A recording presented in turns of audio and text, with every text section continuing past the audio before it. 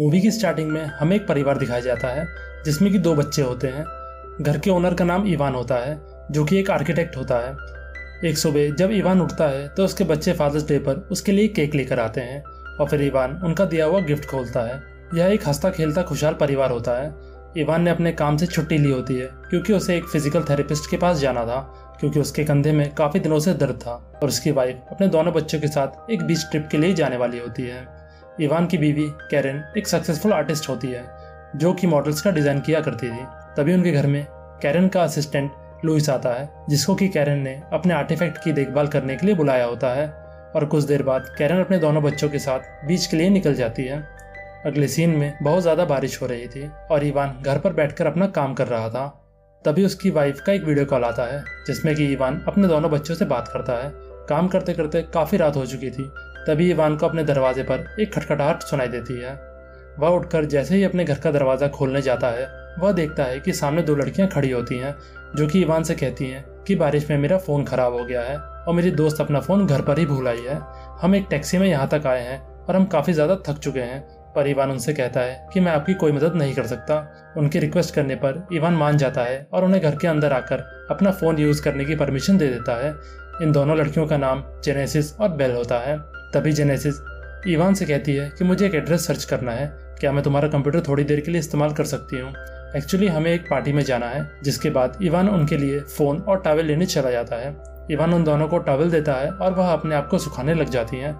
इसी बीच इवान कहता है कि मैं आपके लिए ऊबर बुक कर देता हूँ, पर जेनेसिस कहती है कि कोई बात नहीं हम बाहर से एक कैब ले लेंगे। हम लोग आपकी रात खराब करना नहीं चाहते, पर फिर भी इवान उन लोगों के लिए एक कैब बुक कर देता है। कैब को पहुँचने में अभी 45 मिनट्स बाकी थे।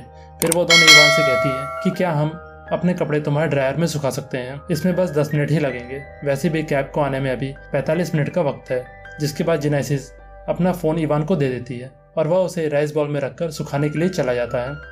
पर इन लड़कियों के इरादे कुछ नेक नहीं लग रहे थे। इवान उन दोनों के लिए चाय बनाता है। और उन दोनों के जूते लेकर मशीन में डाल देता है सूखने के लिए। पर जैसे ही इवान वापस आता है, वह देखता है कि वह दोनों लड़कियाँ उसके कुत्ते के साथ साथ उसका डीजे प्ले करके वहाँ नाच रही होती हैं। उन लोगों के पूछने पर इवान बताता है कि पहले मैं डीजे बजाने का काम किया करता था, पर वह दोनों इवान से उसकी एज पूछती हैं, जिस पर इवान कहता है कि मैं 43 ईयर्स का हूँ। पर वह लोग कहती हैं कि हमें यकीन नहीं होता, क्योंकि तुम बहुत ही ज़्यादा यंग लगते हो। फिर वो लोग उसके परिवार के बारे में पूछती हैं जिस पर ईवान कहता है कि मेरी बीवी मेरे दोनों बच्चों के साथ एक बीच पर गई है। मैं भी जाने वाला था, मगर मुझे कुछ काम था, इसलिए मुझे यहाँ रुकना पड़ा। फिर वह दोनों ईवान के साथ फ्लर्ट करना चालू कर देती हैं। फिर वह लोग उसकी वाइफ के बारे में पूछती हैं, जिस पर ईवान बताता है कि वह एक आर्टिस्ट है और उसकी एक आर्ट गैलरी है लॉस एंजल्स में फिर वह लोग इवान से पूछती हैं कि क्या तुमने पिछले चौदह साल से अपनी बीवी के अलावा किसी और लड़की के साथ सेक्स नहीं किया, जिस पर ईवान मना कर देता है? वो लोग बार बार ईवान के ऊपर चढ़ने की कोशिश कर रही थी, मगर ईवान बार बार उनसे दूर भाग रहा था। My God this girls are really up to something फिर जेनाइसिस ईवान से पूछती है कि क्या मैं तुम्हारा बाथरूम यूज़ कर सकती हूँ? जिस पर इवान बोलता है कि बाथरूम बेसमेंट में है, और जेनेसिस बाथरूम के लिए निकल जाती है। फिर बेल ईवान से कहती है कि क्या तुम मेरे लिए कोई स्पेनिश म्यूज़िक लगा सकते हो, जिस पर इवान एक स्पेनिश रिकॉर्ड बजाता है और बेल उस म्यूज़िक पर थिरकना चालू कर देती है। फिर वह इवान को भी अपने साथ डांस करने के लिए कहती है। इवान को यह काफ़ी अजीब लग रहा था और फिर बेल इवान को किस करने की कोशिश करती है और तभी इवान के मोबाइल का नोटिफिकेशन बजता है और वह देखता है कि कैब अब बाहर आ चुकी थी। वह उन दोनों का मोबाइल फ़ोन और जूते लेकर बाथरूम के पास जाता है। बाथरूम का दरवाज़ा खटखटाने पर वह दोनों इवान को अंदर आने के लिए कहती हैं। और जैसे ही इवान बाथरूम के अंदर जाता है, वह देखता है कि वो दोनों उसके सामने नंगी खड़ी होती हैं। और यह देखकर इवान का ईमान डगमगा जाता है। वह इवान को अपने साथ मस्ती करने के लिए कहती हैं और उसे सड्यूस करना चालू कर देती हैं। इवान इसका विरोध करता है और कहता है कि यह सही नहीं है, पर वह दोनों नहीं मानती और इवान को सड्यूस करना कंटिन्यू रखती हैं। इतना ज़्यादा सिडक्शन इवान झेल नहीं पाता और वह उनके साथ कॉपरेट करना चालू कर देता है, जिसके बाद वह तीनों आपस में थ्रीसम सेक्स करते हैं अगली सुबह, जब इवान सोकर उठता है तो उसे अपने किचन में से कुछ सुनाई देता है। और जैसे ही वह किचन पर जाकर देखता है तो वहाँ पर जेनेसिस और बेल ने किचन का सत्यानाश कर दिया होता है। दोनों बिल्कुल पागलों की तरह बिहेव कर रही थी। इवान उन्हें वहाँ से जाने के लिए कहता है, पर वो दोनों कहती हैं कि अब से हम यहीं रहेंगे। और तभी इवान को कैरन का वीडियो कॉल आ जाता है, और वह उसे बात करने के लिए घर के बाहर चला जाता है। मगर तभी पीछे से वह दोनों आकर अजीब अजीब हरकतें करने लग जाती हैं। वीडियो कॉल खत्म करते ही इवान आकर उन लड़कियों पर चिल्लाता है और उन्हें वहाँ से जाने के लिए कहता है, मगर वह दोनों फिर से घर के अंदर भाग जाती हैं। इवान को उन दोनों को अपने घर से निकालना बहुत ही मुश्किल हो रहा था। फिर वह दोनों कैरन के बने हुए आर्टिफैक्ट को नुकसान पहुंचाना चालू कर देती है और जैसे ही इवान पुलिस को कॉल लगाने वाला होता है, तभी जिनेसिस कहती है कि हम दोनों बिलो एटीन हैं। और जैसे ही पुलिस वाले को पता चलेगा कि तुमने दो लड़कियों के साथ रेप किया है तो वह तुम्हें जेल में डाल देंगे। तभी दरवाजे पर एक औरत आती है, जो कि कैरन की दोस्त होती है। वह इवान के पास इसलिए आई थी ताकि वह देख सके कि इवान को किसी चीज़ की कोई ज़रूरत तो नहीं।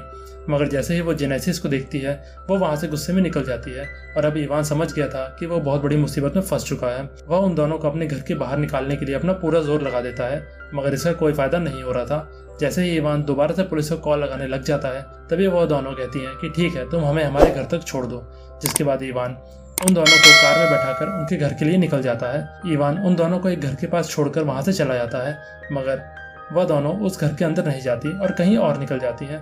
ईवान घर लौटकर घर की सफ़ाई करने में लग जाता है और जब वह रात में बैठकर अपना काम कर रहा होता है, तब उसे एक बार फिर दरवाजे पर एक खटखटाहट सुनाई देती है। वह अपना म्यूज़िक बंद करके दरवाजे के पास जाता है और देखता है कि वहाँ कोई नहीं होता, और तब वह देखता है कि उसकी फैमिली फ़ोटो ज़मीन पर पड़ी हुई होती है, और जैसे ही वो उसे उठाने के लिए जाता है पीछे से जेनेसिस उसके सर पर वार कर देती है और वह बेहोश हो जाता है। अगले सीन में जब इवान होश में आता है तो वह देखता है कि उन दोनों ने इवान को बेड से बाँध रखा होता है और तभी उसके पास बेल आती है, जिसने कि उसकी बेटी का स्कूल यूनिफॉर्म पहन रखा था। वह अपनी चड्डी उतार कर इवान के मुँह पर फेंक देती है और उससे ऊपर चढ़ जाती है। पहले तो इवान मना करता है, मगर वह लोग धमकी देते हैं, अगर तुमने वो नहीं किया जो हम तुमसे करने के लिए कह रहे हैं तो हम तुम्हारा लाइव वीडियो बनाकर फेसबुक पर डाल देंगे। जिसके बाद बेल इवान का रेप करना चालू कर देती है। और जेनाइसिस ये सब मोबाइल पर रिकॉर्ड कर लेती है। पर इसी बीच इवान अपना हाथ रस्सी से छुड़ा लेता है और बेल को साइड में ढकेल देता है। फिर वो जेनाइसिस को मारने के लिए उसके पास जाता है, मगर जेनाइसिस इवान के चेस्ट में फॉर्क घुसा देती है। फिर वो दोनों इवान को एक चेयर से बाँध देते हैं और उसके सर पर हेडफोन लगाकर म्यूज़िक को मैक्सिमम वॉल्यूम पर प्ले कर देते हैं, जिससे कि इवान को काफ़ी ज़्यादा तकलीफ़ होने लग जाती है। तभी दरवाजे पर लुइस आ जाता है, जो कि कैरेट के आर्टवर्क को वहाँ से लेने आया था। फिर वो लोग इवान के फ़ोन से लुइस को मैसेज कर देते हैं कि वह इस वक्त घर पर नहीं है और वह घर के अंदर आकर आर्ट वर्क लेकर जा सकता है। फिर जेनेसिस लुइस के लिए दरवाज़ा खोल देती है और जैसे ही वह आर्टिफैक्ट के पास जाता है तो वह देखता है कि आर्टिफैक्ट पूरी तरीके से बर्बाद हो चुका था। वह दोनों लड़कियाँ लुइस से कहती हैं कि तुम कैरन को इसके बारे में कुछ मत बताना, पर लुइस उन दोनों की एक बात नहीं सुनता और बहुत ज़्यादा गुस्से में आ जाता है। और फिर वह लोग लुइस को भी सड्यूस करना चालू कर देती हैं, मगर लुइस उनकी एक नहीं सुनता। तभी लुइस को दूसरे कमरे में से कुछ आवाज़ आती है और वो वहाँ जाकर देखता है कि इवान एक कुर्सी से बंधा हुआ होता है और इससे पहले कि वह इवान को खोले, वह देखता है कि लड़कियों ने उस आर्टिफैक्ट को तोड़ना चालू कर दिया है और जैसे ही लुइस उन दोनों को रोकने के लिए उनके पास जाता है, तभी लुइस को अस्थमा अटैक आ जाता है और उसका इन्हेलर उन दोनों लड़कियों के पास होता है। वह जैसे ही उनसे इन्हेलर लेने की कोशिश करता है, उसका पैर फिसल जाता है और वह ज़मीन पर गिर जाता है और सर पर चोट लगने की वजह से उसकी वहीं पर मौत हो जाती है। इवान उन दोनों से एंबुलेंस बुलाने के लिए कहता है, मगर वो दोनों उसकी बात नहीं सुनती। फिर वह लोग लोइस की डेड बॉडी को ग्लू पेपर से कवर कर देती हैं और उसे उसी की वैन में रख देती हैं। फिर वह दोनों लुइस और इवान का फ़ोन लेकर उन दोनों को आपस में मैसेज कर देती हैं, जिससे कि ऐसा लगे कि लुइस को पता चल गया था कि इवान का अफेयर उसकी वाइफ के साथ है। इसी वजह से इवान ने लुइस का मर्डर कर दिया। वह लोग वापस से इवान के पास आती हैं और उसे एक बार फिर से टॉर्चर करना चालू कर देती हैं। फिर वह लोग इवान के घर के बाहर गार्डन में एक बहुत बड़ा सा गड्ढा खोदती हैं। और इसी बीच इवान वहाँ पर रखे टैबलेट की मदद से कैरन को कॉल लगाने की कोशिश करता है, मगर तभी वो दोनों अंदर आ जाती हैं और टैबलेट उठाकर बाहर फेंक देती हैं। यहाँ पर इवान को पता चलता है कि यह दोनों लड़कियाँ पहले से ही उस पर नज़र रखे हुए थी। फिर वह लोग पूरे घर को तहस नहस करना चालू कर देती हैं और इवान के सर के बाल भी काट देती हैं। और इसी बीच उन्हें वहाँ पर एक गन मिलती है। वह लोग ईवान के साथ गन पॉइंट पर हाइड एंड सीख खेलना चालू कर देती हैं। मगर ईवान किसी तरह घर के बाहर निकल जाता है, मगर जेनेसिस उसे पकड़ लेती है। अगली सुबह वो लोग ईवान को बांधकर उसी गड्ढे के अंदर ढकेल देते हैं। जहाँ पर वो लोग उसे गले तक धसा देते हैं। फिर वो लोग इवान को एक रिकॉर्डिंग दिखाते हैं, जिसमें कि वह बेल के साथ सेक्स कर रहा होता है। और देखते ही देखते इवान की आँखों के सामने वह टेप फेसबुक पे अपलोड हो जाता है। वह दोनों लड़कियाँ उसी कुत्ते को लेकर उस घर से चली जाती हैं। और जब कैरन घर वापस आती है तो वह देखती है कि पूरा घर तहस नहस हो गया था और मूवी यहीं पर खत्म हो जाती है। तो दोस्तों, आपको इस मूवी की कहानी कैसी लगी? Do let us know in the comment section below और इस चैनल को लाइक शेयर और सब्सक्राइब करना ना भूले। Till the next video bye